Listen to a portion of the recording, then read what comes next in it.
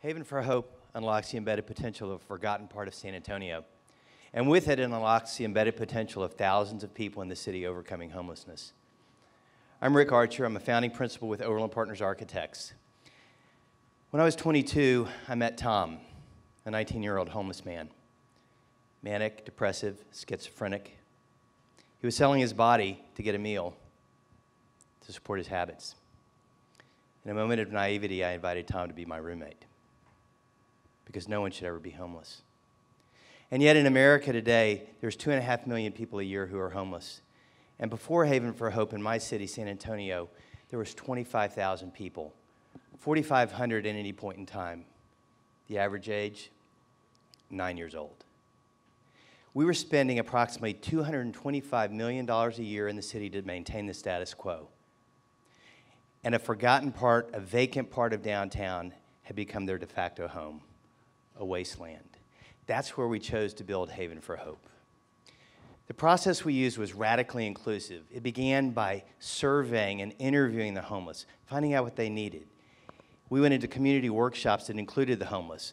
We did benchmarking trips. We did peer reviews. We invited five other architecture firms to work with us because the project was so critical. And we co located on site with the project manager and the construction manager. What, what emerged was a concept one stop for all people, regardless of their age, their homeless status, or their gender.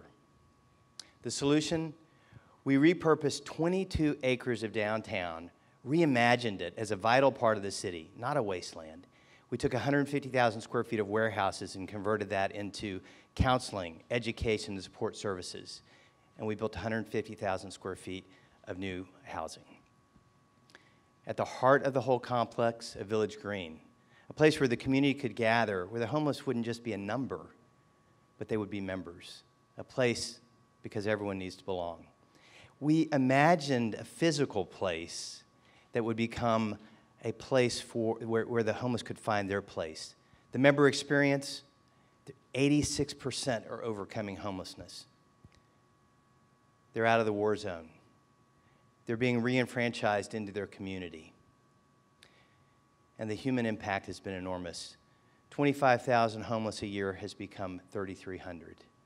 Our point in time count went from 4,500 to 450.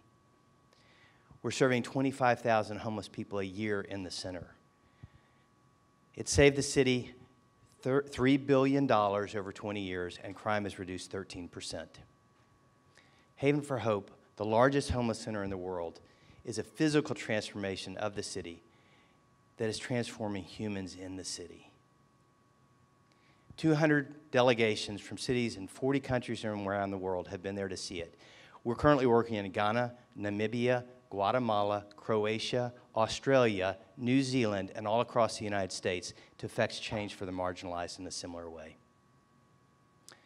15 years after I met Tom and he lived with me, his body was found on the side of the street. A book was in his hand. They identified him by the inscription that I'd written. No one should die like that. No one should live like that.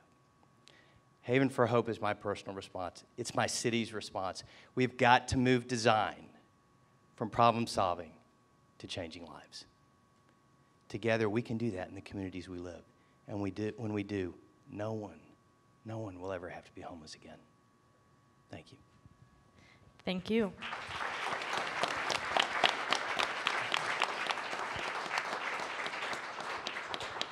Okay, Cliff? That's amazing. Thank you, Cliff.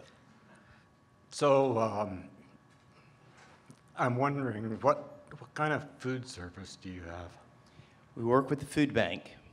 They provide the food at no cost, we have volunteers who prepare it. My office goes down there on a regular basis. We prepare the food with other volunteers. There's an outside courtyard, and they get a hot meal outside for people who don't want to come inside. And for the inside, there's a cafeteria where families and everyone dine together. I think all of us are really moved. So thank you for not only sharing the work, but sharing a personal side of it. Because I feel like, especially with an issue like this, it touches on our humanity. So thank you for that.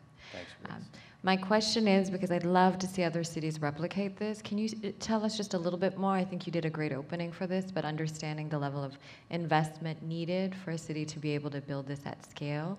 So, Yeah. what it takes for another city to ado- adopt a model like this.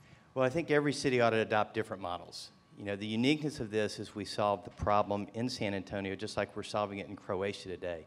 Spent last week in Croatia meeting with the communities trying to understand their needs, and they're so different than San Antonio.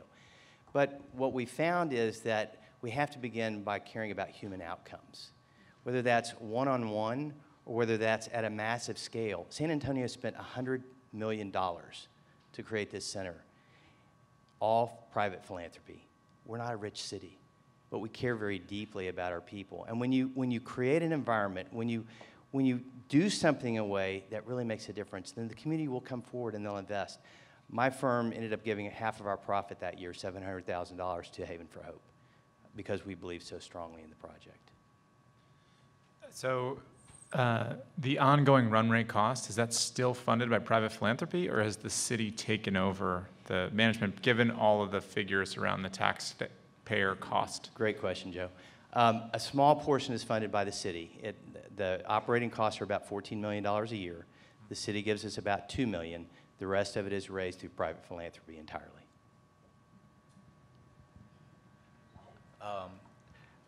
I have a question about, um, are there any criteria for homeless individuals to be first granted a housing unit and second to, to stay within the housing complex long term?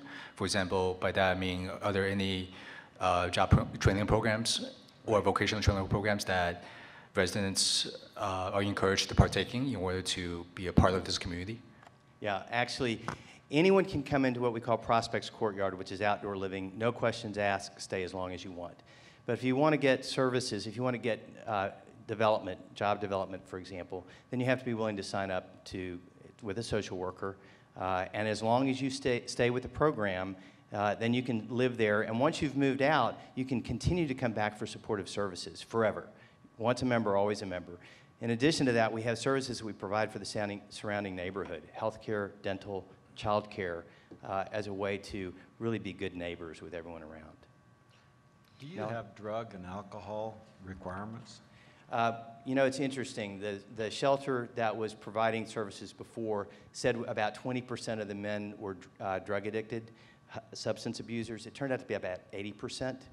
Fortunately, we had designed tremendous flexibility into the, into the facility, so we created an on site detox and rehab unit, uh, and most of the men ended up going there first. And I Nella? think you had a question. Um, can you say a couple more design details that really help you achieve the goals of this project? Sure. Um, I think I mentioned one is that we restored it to the city. Two, we had men, women, and children living in the same place, which was critical to creating a vibrant, real life situation. A small detail. And um, I'm the brick. going to have to cut you off there, and we'll have to ask you in, at the, Okay. s- about the small detail later. So thank you for that. Thank and you thank all you for very your much. presentation.